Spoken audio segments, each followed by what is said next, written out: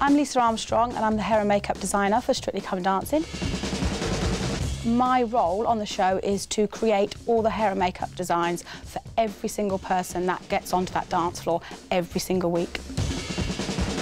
The concept for the hair and makeup comes from the, whole overall look. So we look at the style of dance, we look at the piece of music, and we look at the costume. We then have to marry it all together so it works as an image for that individual person.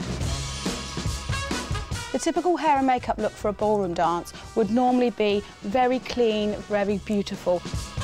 Hair would normally be up so you could see the dancer's neckline and the makeup very glamorous, classically beautiful and just really sort of fresh A classic ballroom look would be um, Dani in her Viennese waltz. A beautiful soft updo, beautiful pretty makeup and a nice colour on the lip.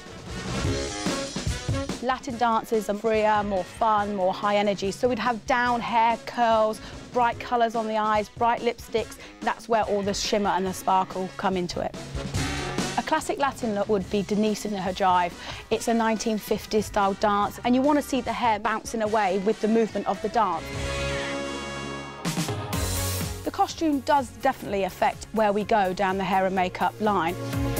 With Kimberley's Tango, our dress design and concept came through and it was a white dress. The day of the show, it turned into a royal blue dress. So we then had to rework our design and then colour matched the palette of the lip to her dress. Again, hair in a different sort of style than we were originally going to do because the strongness of the blue, we had to create a strong hairstyle, lift the hair up, almost like a fascinator, and then she could sort of hide behind that, and with the eyes and with the head turning, she could create the strength that character dance needs.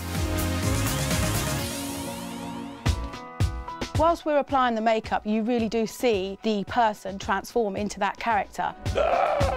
On the Hollywood Week, we turned Nicky Byrne into the mask. It's very important that the audience out there can still associate that that is still Nicky Byrne. So we had to do lots of shading, accentuating his eyes, his features. So actually you could see that was Nicky Byrne, but he was playing the character of the mask. We not only look after people's faces, we have to look after their bodies as well. Because they've been training all week and they're being thrown around, they do get bruises. When we're watching Dress Run, it's bruise watch, bruise watch. Normally the girls have got quite a few of them. it's not only just about the hair and makeup, it's about making friendships and having people trust you're about to make them look amazing.